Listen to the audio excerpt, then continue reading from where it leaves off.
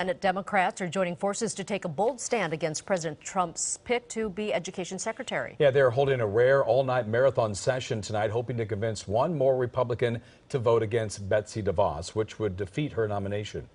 So, KCAL 9 political reporter Dave Bryan has been uh, course, following this story all day and has the late word on this on the latest here. Absolutely. They are working late in yeah. Washington tonight. Not looking too promising for the Democrats at the moment. It's down to the wire tonight for Betsy DeVos, who faces that confirmation vote tomorrow in the Senate. Right now, it's looking like a cliffhanger. One vote either way could make the difference between her winning or losing the job of education secretary.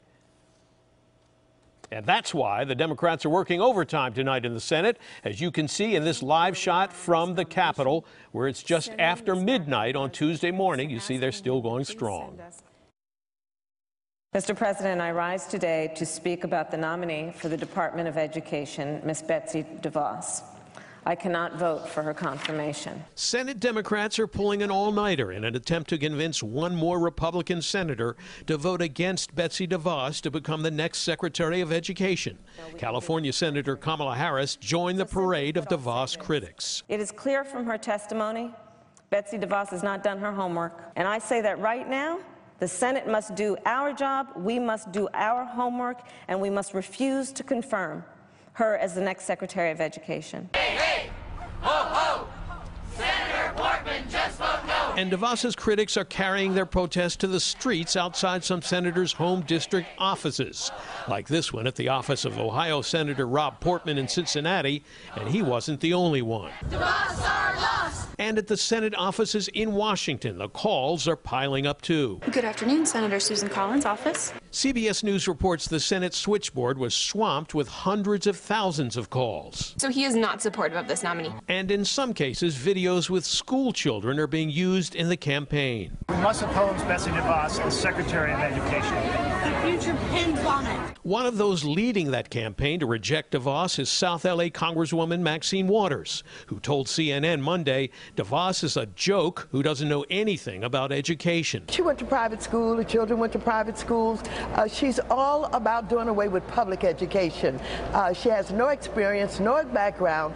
President Trump chose DeVos because she's been a big supporter of school vouchers, which can be used to attend charter schools or private schools, a cause many Republicans support, like South Carolina Senator Tim Scott. The real debate is generations, generations of kids that are stuck in underperforming schools. Every Senate Democrat and two Republican senators have pledged to vote against her confirmation on Tuesday. And if one more Republican jumps ship, it appears she could go down in defeat.